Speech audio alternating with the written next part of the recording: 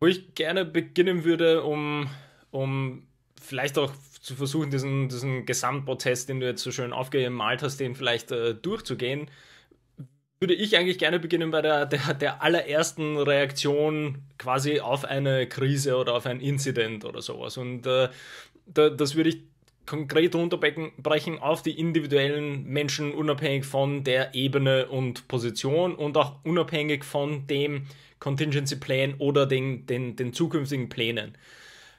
Was du nämlich angesprochen hast, sowas mit äh, Herumgeschreie oder eben mal drastische Maßnahmen ziehen, also sofort drastische Maßnahmen ziehen, das sind ja alles sehr emotionale Entscheidungen, die natürlich absolut nachvollziehbar sind.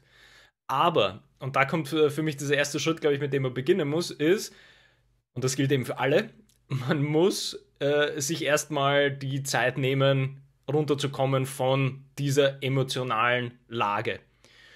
Und das kann natürlich für alle Menschen einen unterschiedlichen Zeitraum beanspruchen, aber ich glaube, das ist für, und, und, da kommen wir wieder dann später natürlich auf dieses Extreme Ownership dann wieder hin, es ist für alle individuell wichtig, dass sie das durchgehen. Gleichzeitig muss man Respekt haben für die anderen Personen, falls sie länger brauchen. Und es, es, es äh, klingt sehr abstrakt und absolut unmöglich in einer Krisensituation zu sagen, ja, aber wir können nicht warten, sondern wir müssen jetzt was machen. Aber wenn man diesen Gesamtprozess, den du aufgemalt hast, dann weitergehen, dann werden wir sehr schnell merken, dass wir nur dann diesen Prozess sinnvoll weitergehen können, wenn wir von dieser emotionalen Ebene alle einzeln individuell zuerst mal runtergekommen sind.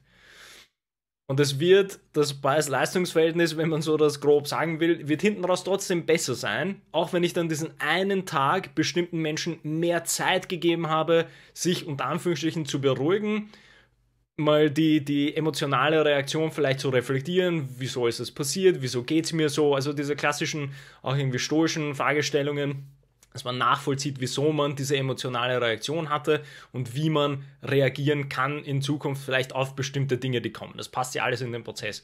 Aber damit würde ich, würde ich definitiv beginnen, dass man muss erstmal zurückkommen auf die sinnvolle und Anführungsstrichen rationale Ebene, damit man an der Lösung arbeiten kann. Also emotional wird man an keiner Lösung sinnvoll arbeiten können.